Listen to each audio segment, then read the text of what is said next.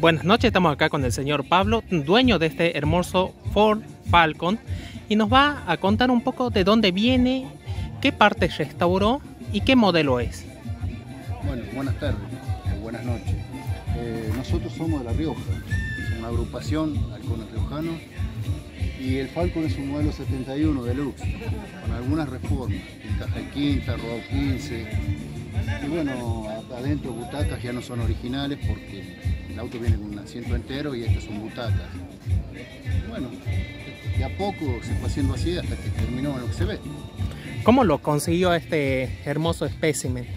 Lo compré en Rosario, se lo compré a un muchacho que lo estaba armando, un muchacho que lo tenía en proceso, digamos. Yo lo terminé. Es un auto con muy mucha historia este realmente. Claro, sí. En realidad el Falcon es histórico, sí. Sí.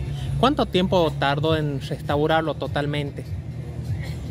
hasta donde está ahora, que algunas cositas todavía faltan hacerle, y un proceso de 2015 hasta acá, nueve años, que le va haciendo, le va haciendo, de a poco, ¿no? Lo que se va pudiendo. Económicamente es el problema más grave. Sí, mucho tiempo ha llevado restaurarlo y es una hermosa pieza histórica. ¿Y tiene otros proyectos en curso o solamente este? Eh, bueno, justamente vos me encontraste viendo los 600.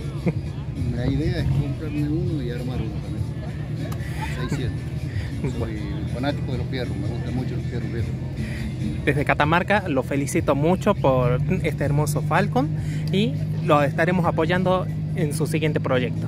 Muy bien, muchas gracias, saludos para todos.